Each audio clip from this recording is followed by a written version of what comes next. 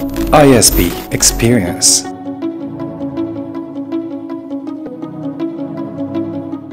आदाब दोस्तों वैसे तो आ, मैं इवेंट्स अटेंड करता रहता हूँ मुशायरों पे जाना होता है और लोग मोहब्बत से भी पेश आते हैं मोहब्बत से नवाजते भी हैं लेकिन आईएसपी के अंदर एक अजीब तरह का मामला था लेकिन यहाँ जो जितनी मोहब्बत मुझे मिली बहुत कम होता है और मुझे लग रहा था कि मैं अपने ही मुल्तान में आया हुआ हूँ और अपने ही इदारे में आया हूँ इन लोगों ने बहुत मोहब्बत की, इतनी कि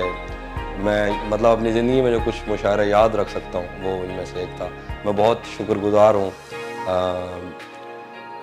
आईएसपी की जो लिटरेरी सोसाइटी है और उनके जो ऑर्गेनाइज़र हैं और जो भी हैं, बहुत शुक्रिया।